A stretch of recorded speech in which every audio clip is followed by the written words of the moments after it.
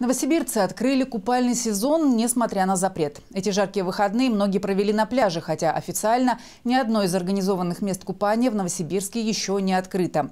Принимать их будут в первой декаде июня. Как пляжи готовятся к новому сезону и почему купаться сейчас нельзя, расскажет Мария Черешнева.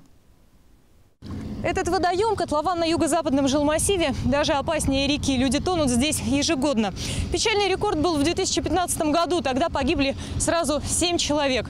Купание здесь строго запрещено. И по-хорошему, единственное, что могут позволить себе отдыхающие, это босиком пройтись по кромке воды. Но заходят гораздо дальше. Знаем, что и глубоко, и опасно, а все равно идем. Нормально. Тут, ну, так прошел 3 метра 4 туда-обратно, искупнулся, да и все. Здесь купаться не разрешат, наверное, вообще никогда. Котлован глубокий, дно неоднородное. У матросов-спасателей ни минуты покоя. Очень разный контингент людей бывает. Бывают те, кто спокойно реагирует, то есть понимающие относятся к этому. Бывают те, которые конфликтные, очень любят поругаться. Сейчас заходить в воду нельзя не только здесь. Купание запрещено на всех водоемах и официальных пляжах. Вода еще слишком холодная. Резкий перепад температур. Соответственно, люди не выдерживают, чуть-чуть воды хлебнул и все. Дальше у них начинается уже, так сказать, процесс восстановления дыхания. При этом э, говорить он ничего не может. Позвать на помощь он не может. Вот. И в связи с этим ныряет. Чем больше, тем глубже, больше нахлебывается воды и незаметно для окружающих просто-напросто тонет. К приемке она назначена на 6 июня. На городском пляже готовы. Не сделано только одно – буйковая зона. И спасателей на посту пока нет. Хотя люди в воде есть. Они несут э, сами за себя ответственность. Мы не можем каждого человека вытащить и запретить ему плавать в водоеме. А, поэтому у нас расставлены аншлаги по пляжу, что купание запрещено.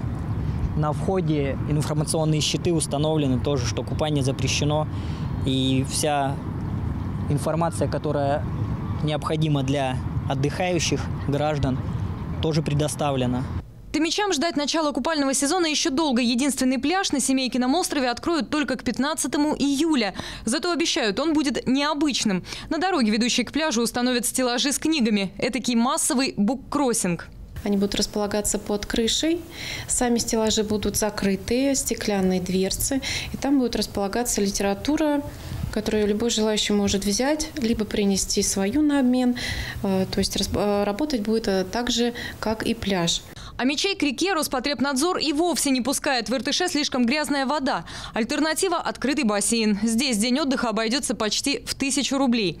Правда, за эту зиму чаши изрядно поизносились. В первых числах июня обещают ремонт закончить. И тогда бассейн начнет работать. Мария Черешнева, Никита Лобиков, Ольга Кочкурова, Антон Мамаев. Новости здесь, Новосибирск. Где стоит купаться, а где нет? Как по внешним признакам определить, безопасен ли водоем? Смотрите интервью с экспертом в заключительной части нашей программы.